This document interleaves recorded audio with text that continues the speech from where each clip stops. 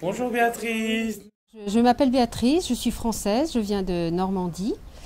Euh, Kamel et moi sommes installés à Belle-Île depuis euh, un peu plus d'un an maintenant. Nous avons créé une maison d'hôtes euh, à Belle-Île, près de Fès, pour plusieurs raisons.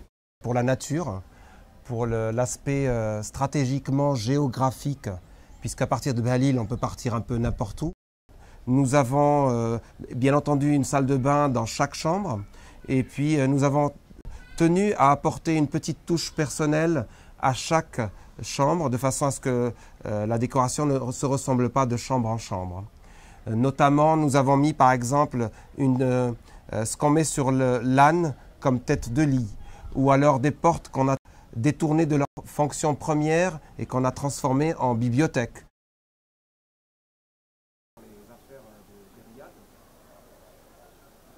On cherchait une chose différente, donc on l'a trouvé, vraiment, on l'a trouvé. Le village c'est tranquille, donc c'est mieux pour, pour, les enfants qui allaient à Fès o, o tout ça. Mi amiga Kika decidió buscar en internet un sitio porque queríamos un sitio que no fuera dentro de la ciudad de Fez, sino que fuera en, el, en, los alrededores, que fuera un poco más auténtico, más, más con el sentido marroquí. Y la verdad que nos ha impresionado cuando hemos llegado, porque la casa es preciosa, está toda decorada muy, con muy buen, muy buen estilo.